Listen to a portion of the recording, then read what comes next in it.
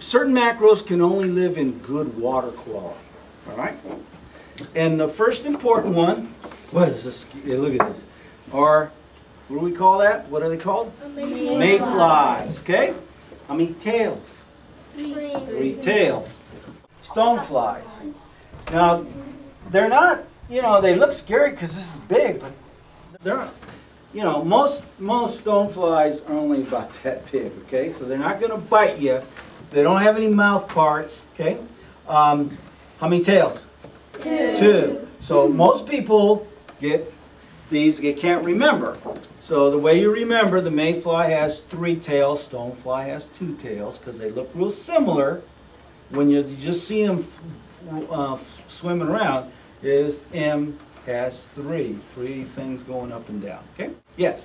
Um, do they like start changing and they start changing? Do they Ye- start changing? They will, and it's called metamorphosis. What they do is they spend their time living in the creek, around the rocks, and then pretty soon, as they've under, got bigger and bigger and bigger, it's time to turn into an adult, and we call that metamorphosis. Well, these macros do this underwater. They have a cocoon, just like a butterfly, but a butterfly is on land. Butterflies aren't macros. And they build a cocoon and they turn into the adult, okay, underwater. This is not the adult bug. This is what we call, it's the immature bug. Now, there's a name for that. It's called larvae, okay? Larva. That just means it's the stage of a life cycle of a bug. It's gonna turn into an adult, okay? And that's why it looks funny. Now, most of the macros you're gonna collect are like this. They're the larvae form of insects, so they're not the adult. This bug turns into the adult in water. Well, wings don't do you any good in water. So what will happen is they'll float to the surface of wherever creek they live in or pond or lake, and they'll sit there on the surface and dry their wings because they're wet. They can't fly with, with wet wings, so they dry their wings, okay? And it might take 20, 30 minutes if it's a nice warm day.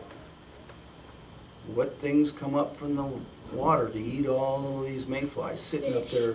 Fish. And a lot of times you see a lot of fish. When a, when there's a mayfly hatch, as it's called, when they run to the, they float to the surface, a lot of times you see a lot of fish feeding on them because they sit there, they, they can't move.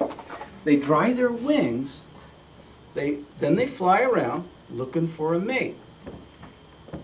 A species of mayfly, adult, only lives two days as an adult. Imagine your life if you only lived two days.